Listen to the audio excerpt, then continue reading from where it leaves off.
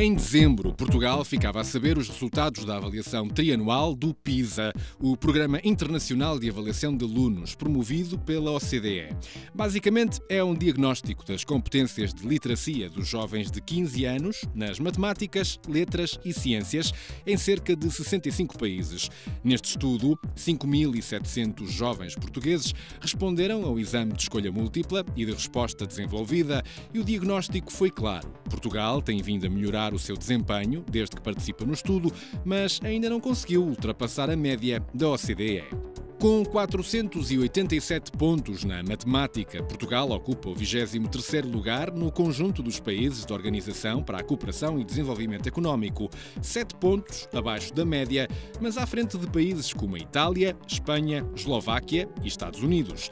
Nas ciências, conquistou o 26º lugar com 489 pontos, menos 12 que a média da OCDE, e na leitura ficou em 25º lugar com 488 pontos, menos 8 que a média.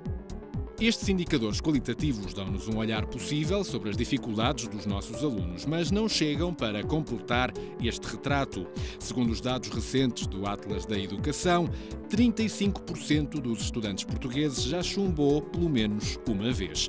A par das reprovações, o abandono é outra face do insucesso escolar. Segundo dados do Eurostat de 2012, Portugal foi o país com maior queda da taxa de abandono precoce dos alunos de 18 aos 24 anos, de 38,8% em 2005 para 28,7% em 2010 e, por fim, 20,8% em 2012.